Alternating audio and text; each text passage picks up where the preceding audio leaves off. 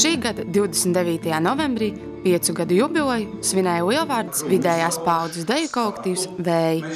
Pateicoties talantīgajai vadītājai un horeogrāfai Iltai Mistrai, Vēji ir viens no labākajiem deju kolektīviem ne tikai novadā, bet arī Latvijā.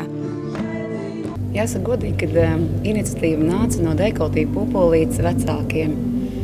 Jo, kad mēs svinējām pupolītim 20 gadu jubileju, tas bija pirms sešiem gadiem, man ienāca prātā doma, ka varētu vecāki dejot kopā ar bērniem.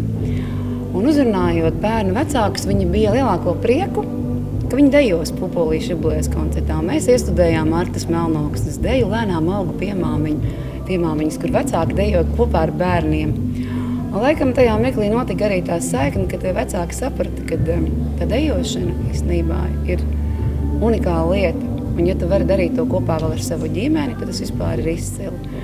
Tad atskanēja nemitīgi telefona zvani, viņi man lūdzās, vadītāji, lūdzu, paņemiet mums. Es teicu, ka es nevaru, ka man ir ļoti daudz darba un visi vakar ir aizņemti. Bet pagāja gads, un viņi neatkāpās no savas idejas. Tad, protams, man bija jāpalūdz savai ģimenei atļauju, jo tad sanāk, ka man vairs nav neviens vakars nedēļā brīvs. Un tā nu jau piecus gadus vēji ir kolektīvs. Vadītāji atzīst, pirmie divi gadi esot bijuši grūti. Gan finansiāli, jo kolektīva dalībnieki paši par savu naudu īrējuši kultūras nama telpas, auduši savu tautas tērps un izgatavojuši kurpes un zābakus. Gan bijis grūti pielāgot katru dejotāju līmeni, jo daļai vēji ir pirmais kolektīvs.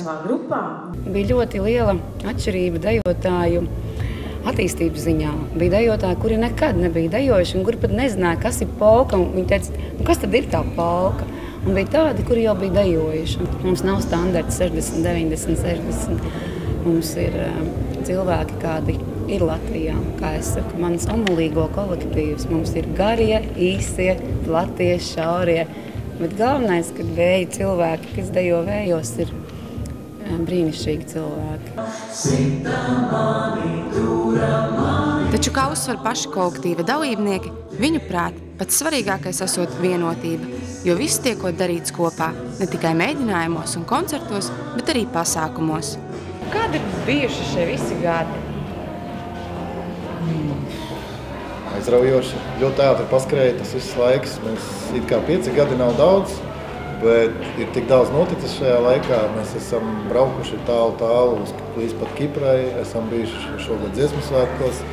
Un tas viss kaut kā to laiku tā pātrina, kad nepaspēja nepastīties, kā gads jau kaut cauri. Ne? Kā pieci. Paldies vadītājai, kad viņa mūs ir savācis kopā, kad ir iemācījis mūs tik daudz, cik mēs protam, un ka mēs esam tikuši uz dziesmu svētkiem un dejojuši arī estrādē, kā viena no labākajiem kolektīviem. Nu, jā, dejojiet, dejojiet un dejojiet. Jubilejas koncerta vadība šoreiz uzticēta aktierim Varim Vētram, jo kolektīva dalībniekiem esot tuvas viņa izpildītās dziesmas. Taču Ilta Mistra smejoties saka, kur vējš, tur vētra, kā gan savādāk. Ka viņi visi kopā viens otram piestāv un ir, ir, ir viens otram papildinājums. Nu, laimīgi cilvēki. Tas ir tas, ko daudz cilvēku grib sasniegt, tas viņiem. Viņi rūpējas viens par otru prieku. Viņi visu laiku grib sagādāt prieku. Viens pienāk, saka, mēs to nesaka, viņi, mēs to darīsim. Otrs saka, otra puse atkal atnāk. Un es novēlu viņiem, lai viņi nekad, nekad nenoveco, lai kļūst tikai jaunāki, izaugs bērni lieli un viņi arī, lai, lai, lai paliek vismaz savu bērnu vecumā vienmēr. Nu, tas ir, man liekas, tas ir viss, ko es viņiem varu novēlēt, jo viss pārējais jau viņiem ir. Kā pieņemts jubilejās, arī šajā neizpalika bez apsveicējiem un dāvanām no atbalstītājiem un draugiem.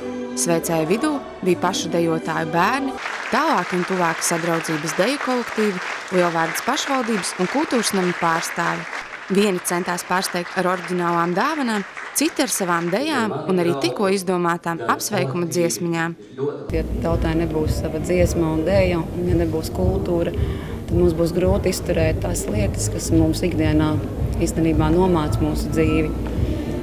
Un es domāju, ka būs viss labi, un es ceru, ka, ka to darbu un to enerģiju, ko es viņiem dodu, ka viņi to novērtē. Un šodien saņemot jau no rīta īziņas telefonā, es sapratu, vadītāji mums ir tauriņi vēderā, un tie ir pateicoties jums.